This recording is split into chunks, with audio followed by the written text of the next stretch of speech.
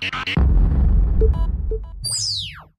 everyone, it is Hunter Fireflower, and in this video, I'll be doing a summary of Star Wars on the Jedi Force Storm number 2. So if you haven't seen the first one already, please, I'll leave it in the description. Please watch that video first before you watch this one. But I'll be doing a whole summary of the entire Dawn of the Jedi comic book series, so let's begin. So anyways, we start at, at Fury's Gate. And this is basically the outermost planet on in the Typhon system, and it's the station we're at the station that monitors things that are coming in and out of the of the Typhon system because as we know previously nothing can actually really enter the Typhon system because it's protected by this dark matter. So it's very very the Typhon system is very safe and no one can really leave the Typhon system because the, this dark matter protects the entire planet. I shouldn't say planet. The dark matter protects the entire solar system basically. So anyways, they get these sensors are picking up this inbound ship and they believe that it might be a sleeper ship, which is the the Tho-Yor, I believe that's what the reference is to. And those are basically just these ships that collected species across the entire galaxy and brought them to Tython. So they think that that it might be a, like a sleeper ship coming back. But anyways, we have this this person saying that he is going to inform Tython. We don't see him yet, but we will in a second. And he's a Je'daii Ranger and he is Hawk Ryo, and Hawk Ryo is the um, Je'daii Ranger we see in Eruption. I don't believe he's referenced into Void at all. I I don't believe so. But this is where we get his whole backstory. So, anyways, he's a Je'daii Ranger, and he's going to go back to Tython to no- to notify the ja- the Je'daii Masters that this the sensors are picking up something that's coming into this into the Tython system, and also. Ryo is feeling that. Should I call him Ryo or Hawk? I'll call him Hawk. Hawk is sensing that there's something not quite in balance with the Force and something dark is coming into the Tython system. He just senses that something bad is going to happen. We go back to Tython and we're at Anil Kesh, which is the Jedi temple that is around, around that chasm. That's we talk we first see, see the chasm and into the void, and it's basically that one chasm. I believe it's called Ro. I not row rule i believe is what it's called. But basically this is like a chasm that's super force sensitive and no one has gone to the bottom of it yet because you go crazy. And anyways uh, the Je'daii here practice alchemy and they do a lot of sciencey stuff here. We see master Quan Jang here over here with Shae Koda.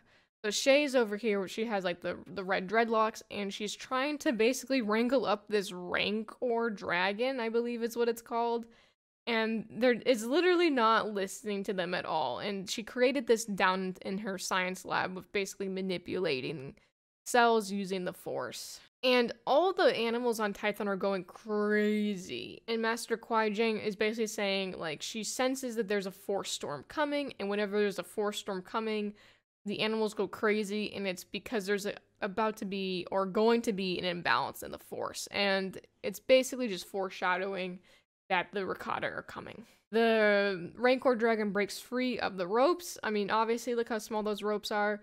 And she goes down into the chasm. And then we have Shae Koda goes down trying to get her Rancor, and she uses the Force to try and like li- tell it to listen to her and relax so that she can take control. It's really, really stressful. She goes on, and then she gets as she goes closer, closer, closer down to the bottom of the chasm. She sees a vision of Xesh, as we know, but the Jedi don't know who this is.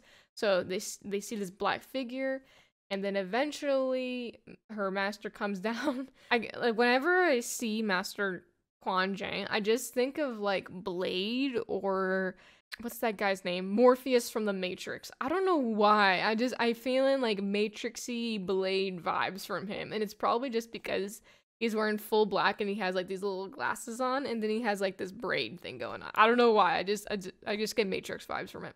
So, anyways, he goes down to save her as she's in shock from this vision, and he uses the force and he calms the Rancor dragon, and then they go back to the temple. Shae has a like a little chat with her master saying, you know, I saw something in the force. I'm being summoned somewhere and she goes off on her Rancor dragon. She's going to go to wherever the force is pulling her and we'll see it later where they're all going. This this comic literally just introduces all of the main characters. The next part, we are at Chick we're at Shikaakwa. oh my god, I'm so bad at this. We're at Shikaakwa. Shikaakwa. Shikaakwa. Okay, whatever the hell it is. And it's basically the seventh planet from the sun, and this is that underworld planet where we have a bunch of crime lords coming in. And we have this one helmeted figure saying that he has a meeting with Ryo. And this is the Ryo Fortress, and it's ruled by this gangster. Ryo's a Jedi, but his entire family actually are these gangsters on this planet. And we have Baron Volnos, who is the head patron, the, the head gangster of Ryo. And that he has a meeting with him, and he's a friend. And so the guards are like, wait a second, that doesn't make any sense. And then this this guy just kills him. He kind of he looks like a samurai to me, but he's a he's a Devionian, I believe that's what they're called. Devonians? Whatever. The devil people. So here we have Tasha, the female Twi'lek, talking to her father. And her father's saying, I need you to take up the mantle of Baron of Clan Ryo. You need to be this crime boss syndicate. You know, come help me rule our whole kingdom type thing. Tasha goes like, "No, yeah, no, you can do it. I'm gonna do my own little thing. The Je'daii are my people. You know, you, my father and my brother were killed in the in the Deepa Wars. But she, when she says her father, she's talking about like her father from the past. Um, she feels like the Depa Wars changed her father. When all of a sudden we see this like bullet come out of nowhere, and she she pushes her father away with the Force, and she begins to fight this mercenary, which she easily which she easily takes him out because the force, you know, is strong. She's like blocking bullets over here. Boom, boom, boom. She all of a sudden sees Xesh, and she kind of the reason why he gets the upper hand is because she sees Xesh, and she's just like, "What?" And it's just an illusion. And so the the bounty hunter gets a head on her, and then she uses the force to push him away. When all of a sudden her father comes down, grabs the guy, and shoots him dead. And this whole thing is just to like the bounty hunter was sent by one of the other barons at Gardos, and he was sent to basically take out the Ryo Baron so that they they would have more power. So just like showing you that there's a lot of crime and corruption going on on the planet. Tasha and her father talk again once more. Her father's always like, "I loved you. I always did everything from you. Don't you love me?" And she says, "I've always loved you. I'll always protect you." But these are crime lords, and the Je'daii can't get involved with basically dealing with the crime and being a crime boss. That's not the way of the you know, that's not the way the Je'daii. and she goes on about like her mother was a Je'daii and she basically wants to follow her mother's footsteps. And anyway, she leaves saying that the force calls her and she must go. And she leaves her father to rule the crime syndicate. The next person we meet is in the Silent Desert. This is the first uh, Jedi temple in Dawn of the Jedi. This is the, the temple where they have the weird sand that starts moving, and it's literally in the desert. And we see this Sith pureblood Sek'nos, I believe is how you pronounce his name. He's impressing all of these ladies with his force lightning because he's doing something with the force that hasn't been done before, and all these chicks are trying to get with him. So he's making this like force lightning ball when all of a sudden he sees Xesh and he's like, "What is that?" And then he he like flips out and then he eventually starts sh- shocking himself and all the girls go, "Oh no! Oh no, our handsome man!" He focuses, he regains his force power, and then he basically shoots at the the vision and then it goes away and all the girls are like, oh, "Are you okay? Are you okay, Sek'nos? Are you okay?" his grandmom, his grandmother and grandfather come over here and they basically bandage his wounds and say like, "How do you feel?"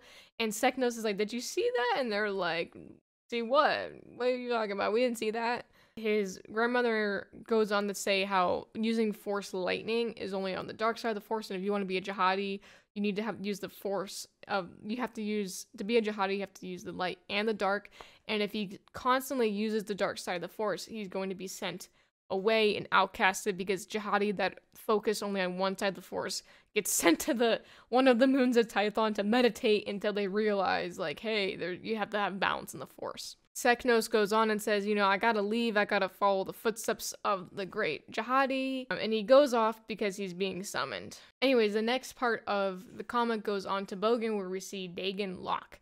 And if you, like I said before, previously, if you only do and if you only work on one side the force, the light or the dark, they'll send you an exile on either Bogan if it's the dark side that you keep focusing on, or Ashla if it's the light side. And anyways, we have Lok over here. He's walking around this temple. It's kind of creepy looking how it's just so dark and the entire planet is literally just like a stone temple. He's over there focusing and he sees a vision of Xesh. and he senses darkness. The story continues, and we see Shae and Sek'nos, they meet up and they go about, they're, they're talking about, hey, like, you guys had the same vision too. And they're like, yeah, is that kind of weird? Then Tasha shows up and Shae has some beef with Tasha. She's like, oh, great, the princess is here. She's in like her golden little uh, spaceship thing down here. Shae hates her and calls her the princess. Um, I'm not sure quite why. It might be because like their whole her family is rich or whatever, but we'll we'll find out. They're there and they're just like, "Hey, you guys had the same vision too? Is that kind of weird?" And then all of a sudden, Shae sees something coming, and it's a ship literally coming into the atmosphere, and it's on fire. And all of a sudden, they they jump to get out of the way of the ship because it's about to impact them and literally turn them into crisps. They jump out of the way and the ship crashes, and then they all have this sense of something of people dying and in pain in darkness. And there's a battle. And this is literally what happens at the end of Into the Void, where all the Je'daii have this vision of dying screams of pain, a battle in darkness, and it's go it's foretelling what's going to happen.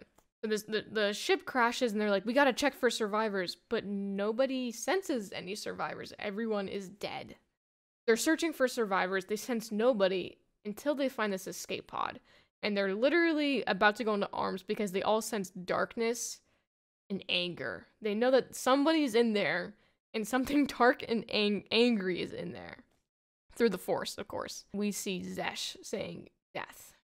So they sense darkness, intense darkness, anger, and death. And this is what Xesh looks like without. He takes off his helmet and he has this little weird triangle tattoo. Maybe we'll find out why they have this weird triangle tattoo.